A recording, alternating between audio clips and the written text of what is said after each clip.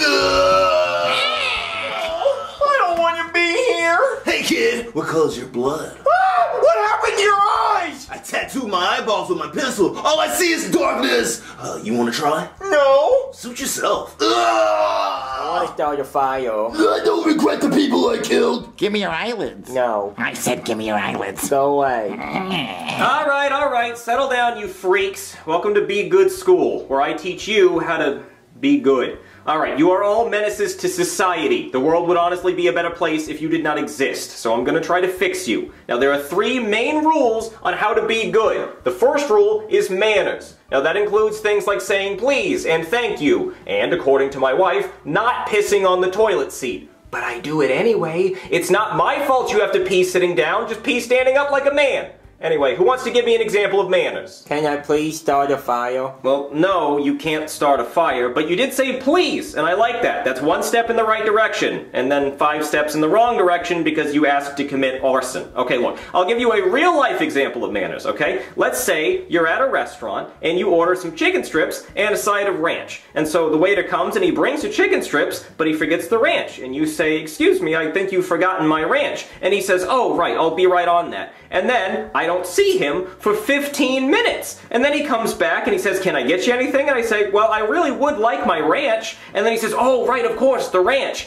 And then he disappears for 30 goddamn minutes and then has the balls to come back and say, Hey, can I get you the check? And I say, What you can get me is my fucking ranch. And he says, Well, you can't talk to me that way. And I say, I can talk to you any way I want. Let me see your manager. And then he says, I am the manager. And I say, Well, that's funny because your name tag says waiter, so go get me the manager. So then the manager comes over and says, Is there anything wrong here? And I say, Yeah, look at my dry chicken strips. I want some ranch. You're gonna comp me this entire meal for free, or I'm gonna put one of my ball hairs in the food and say that you did it, and I'm gonna get this entire restaurant shut down. And then the manager says, Oh, I'm so sorry, sir. I'm gonna comp you your entire meal. All your food is free today. And then I say, Thank you. See? That's manners. I said thank you. So did anybody learn anything? Um, I learned not to forget your ranch. Yes, yes, you don't forget the ranch. That's exactly right. I mean, chicken strips without ranch, it's like a car without tires. What are you even going to do with it? Yes, exactly. You're going to make an excellent waiter someday if Applebee's ever starts hiring felons.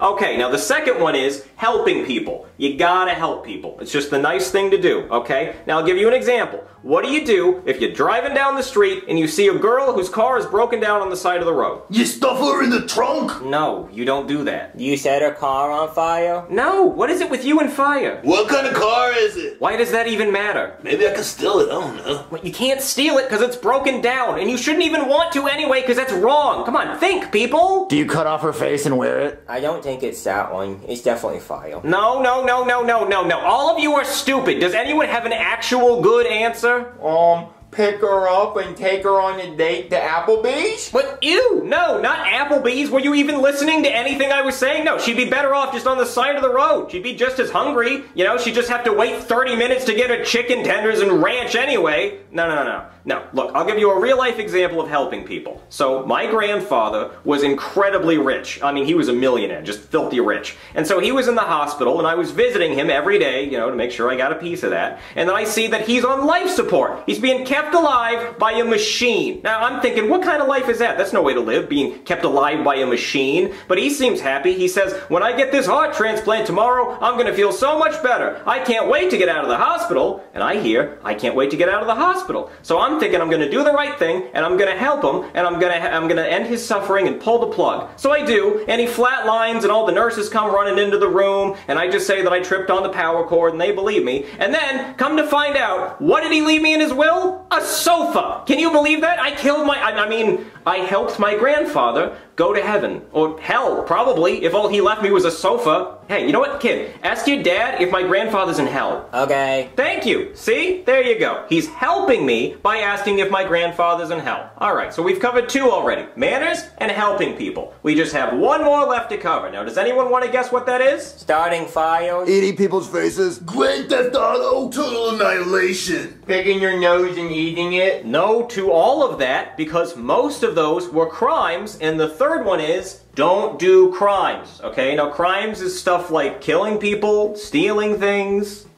Yes, setting things on fire is a crime. And what I did to my grandfather was a crime. And so is what I will do to you if you tell anyone you heard that. Alright, so now we're gonna have a test that will make you have to use all three of the be good rules, okay? And you have to pass this test to not go to jail. But first, I'm gonna have a lunch break and eat my very big foot long imaginary sandwich. I just hope it's not too big. Um.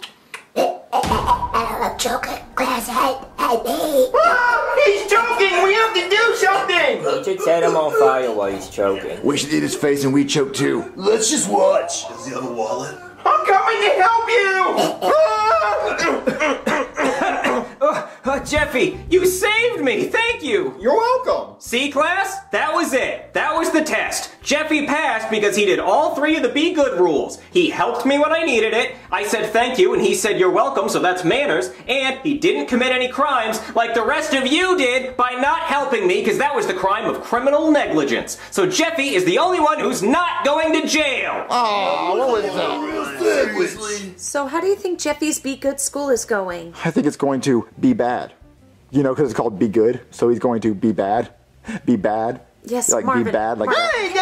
Hey, Daddy, guess what? I passed! you passed. Sure did! Yep, he saved my imaginary life. You know, most students don't save my life whenever I choke on the imaginary sandwich, but your son did, so he passed. He learned how to be good. He learned his manners, he learned that he should help people, he learned not to do crimes, and he learned that he should get me my ranch at Applebee's. So, does that make up for the Hawaiian Punch? Mmm, I forgot about that before now. Alright, listen, kid, you better hope I never have to see you again.